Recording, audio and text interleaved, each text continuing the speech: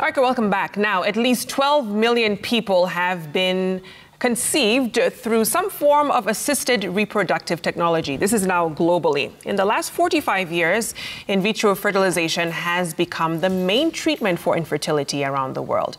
Well, this is because one person in six suffers from infertility. Closer home in Kenya, infertility is on the rise. And according to data from the Kenya Fertility Society, at least one in every five couples suffers from infertility. the data also estimates that at least 4.2 million Kenyans require medical assistance to conceive. The most common reproductive problems are low sperm count, zero sperm count, and blocked tubes.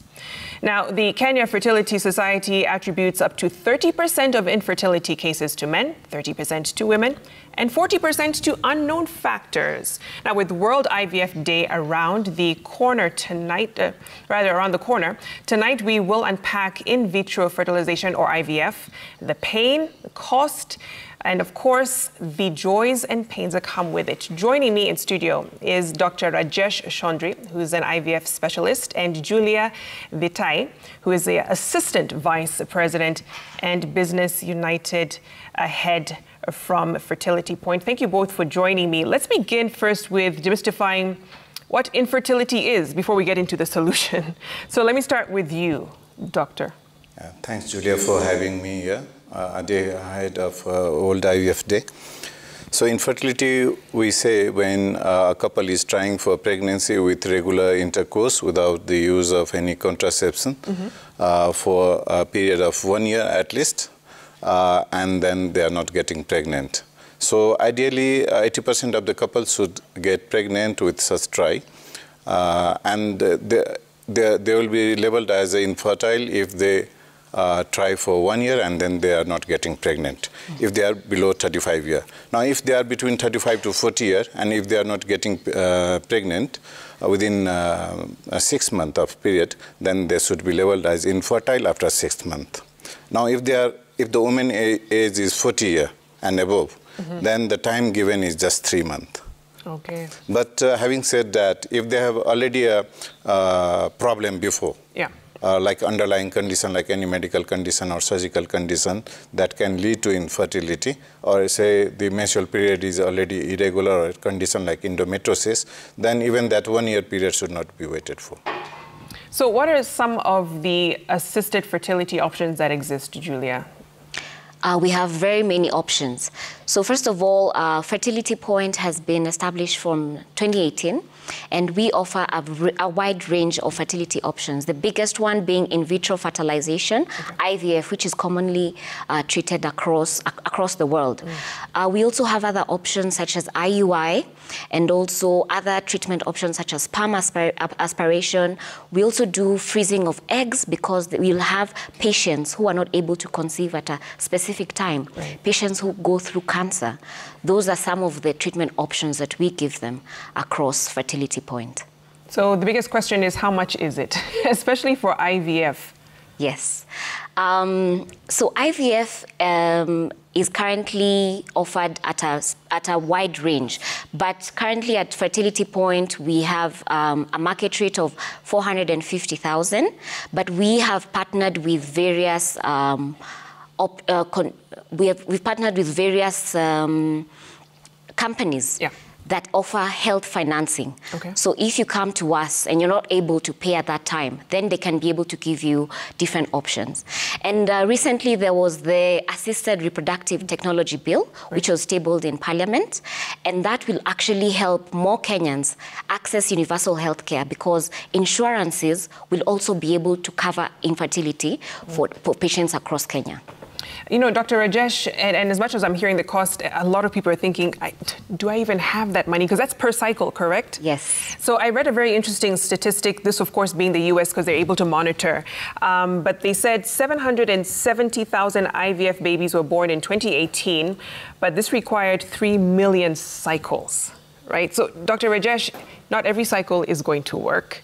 So you can think for every couple who spent what that 450,000, it doesn't work, you go back in, you're spending another 450,000. By the time they get the baby, how many cycles, you know, do couples have to go through or an individual?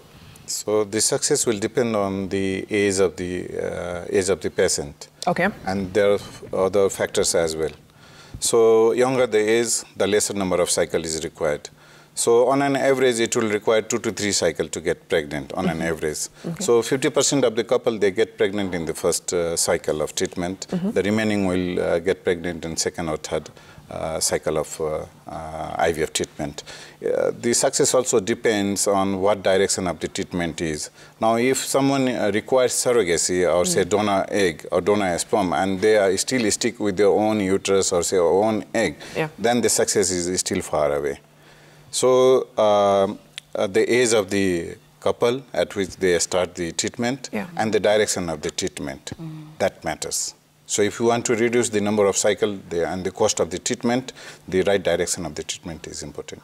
So if you're talking about someone older, I mean, that's something you can't reverse. So a woman coming, what, 42, yeah. right? And she says, I want to have a child. What are the, what's the likelihood of the cycle she has to go uh, go put through? some uh, data. Yeah. Like if, uh, if someone is trying at the age of 30, the chances of having a live birth mm -hmm. is almost uh, 40 to 50 percent. Okay right? And if someone is trying after 40 years, when the egg is already exhausted yeah. in the ovary, the number of egg that we get after uh, ovarian stimulation during IVF is already low and the quality is also co compromised. The live birth is less than 5%. So if, even if they try for 10 cycle, this uh, success is, is still far. So that's why I said the mm. direction of the treatment is important. Okay, let's talk about egg freezing because that's another thing you're finding. Well, I guess you can say a lot of career women are considering because uh, the rat race to chase the bag, to kind of excel and progress in your career is tempting to many, and they're putting off childbearing until later years. So, you know, what does that option look like for someone who's considering it? I'll start with you, Julia. Um, it's first of all, it's something that is doable okay. for any woman who's above the age of 20, 20 years old. So, because as you've mentioned, many women, and not just women, by the way, even men also mm. do freezing of uh, sperms, because many people have it can either be either a medical condition. So, when someone is going through cancer, for example, yeah. um, they cannot be able to have the treatment after the cancer treatment. So they opt to start with freezing the egg, then they can be able to um, conceive after they've done this treatment. So what we do is we take the egg and the sperm during this period, yeah. and then we create the embryo. Once the embryo is, is created and it's stored in our labs, because we have world-class lab uh, facility, then they can be able to now uh, either use a surrogate to help them with this treatment or to help them with now the pregnancy, yeah. or in the event that they are still okay, then they can be able to carry on and bear their children to term. So what is that process? How much does it cost from retrieving the eggs, freezing? What's that cost? Yes. So on average, it costs between 70,000 shillings to 100,000 shillings okay. for both the sperm and also for the egg.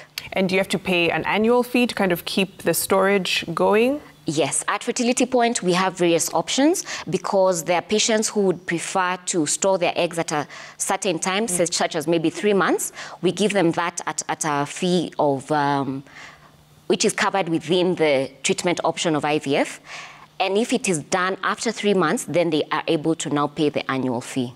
Which is? Which is now 100,000 for eggs and 70,000 for sperm. Okay. Yes. So the ideal age is 20s. And I'm just thinking someone who's in their 20s is just starting their career. Yeah. They can't afford 100,000 to store their eggs. And even as the older a woman gets, the quality of her eggs also is impacted.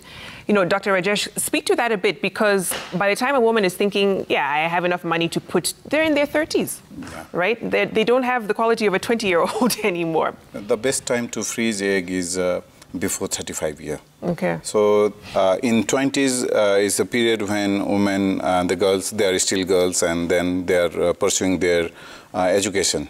Career is started after education, which is late in the 20s. Yeah. And uh, if, if they are not planning for pregnancy for whatever reason, maybe social reason or a personal desire to not have family at that point of time, uh, then they can opt for the freezing uh, her egg. Now, uh, maybe uh, there may be another uh, reason for not having pregnancy that time. Maybe uh, they have, uh, she have not find a right partner.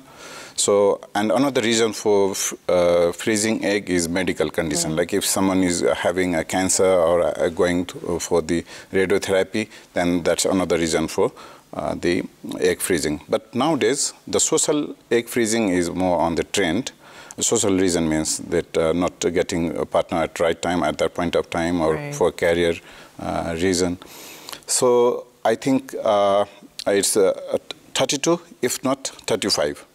Uh, at least 35 should be considered the cutoff point. Mm -hmm. Even they can consider freezing an egg at the age of 40, but the best is the uh, before 35 year.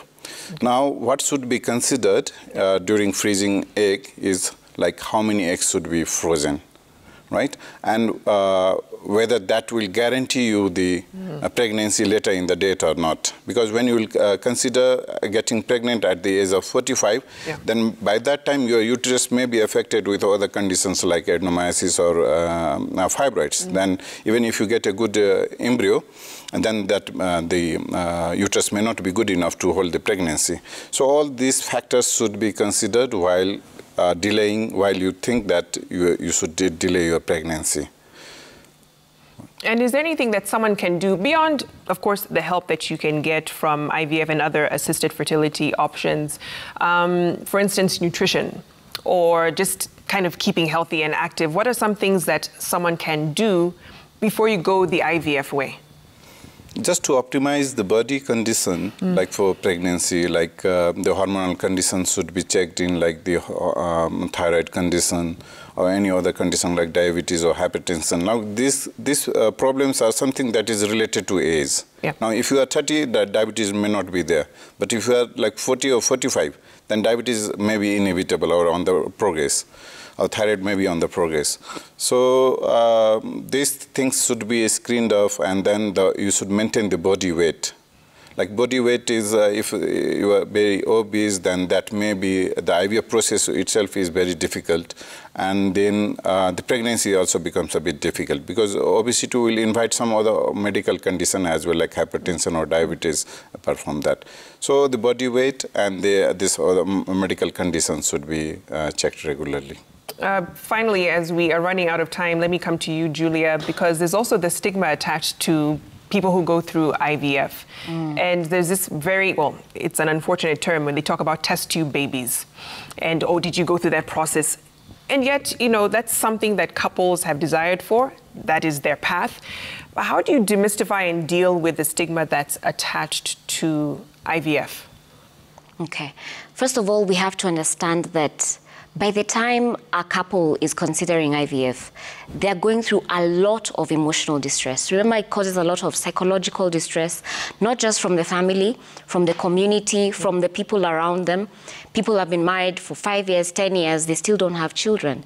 There's a high expectation and a high burden for them to have a child, maybe for certain reasons such as family legacy to continue even with that, that heritage of having a child in that home. So the stigma um, is something that we have to also understand because it is a process that is done outside of the human body. But when the embryos and when the child is coming to term, they're normal we have very many success stories. Um, at Fertility Point, we have more than 3,000 successful pregnancies, which we've had since our conception. And we, we like to continue with that trend because remember, these children are growing in the society just as any other child. So that stigma is something that we have to constantly have a conversation because this is one of the starting points, right? It is a taboo to discuss infertility, even within the homestead, even within churches, even within the community as, as a large, but we need, uh, even as a whole, and even as government, and even through other community agents, we need to start demystifying that this is just a treatment option, just as we treat any other disease or any other um, anything that can be affecting the body. So when children are, are, are, are born through IVF, they come out normally. And that's the hope that we'd like to, to give them. Yeah. Okay. I mean, let me add yeah, on sure. this. Mm. Uh, from where this stigma uh, uh around the IVF and surrogacy has come mm. through the our uh, the culture, our uh, society thinking that uh, sex is required for the pregnancy. Now, IVF is something that you can get pregnant without sex. Mm -hmm. So that belief has been tormented, and uh, now, gestation is gestation is one thing. I mean, getting pregnant is one thing, and mother is another thing. Right. Like with the help of IVF, you can get the motherhood without getting pregnant. And now that has challenged the traditional belief, and that that's why there is a uh, uh, this stigma against the IVF and uh, surrogacy. But I believe now the uh, society is moving a bit fast, this generation, and then the, all this stigma will be slowly uh, will be wiped off. And hopefully this kind of conversation starts to do that. Thank yeah. you so much, Dr. Rajesh and Julia, for your time. Of course, World IVF Day uh, is coming up this week, so take some time to learn more. What's happening at Fertility Point? Can people get more information? Yes, uh, you can visit our website at www.fertilitypoint.co.ke or call us on our number at 0792 We have discounts that we've offered through, during this month, so please visit us and call us if you need our treatment options, and we can give you more information about these uh, services. Fantastic. Thank you so much for your time. Let's take another short break here on Citizen Weekend. Sports News up next.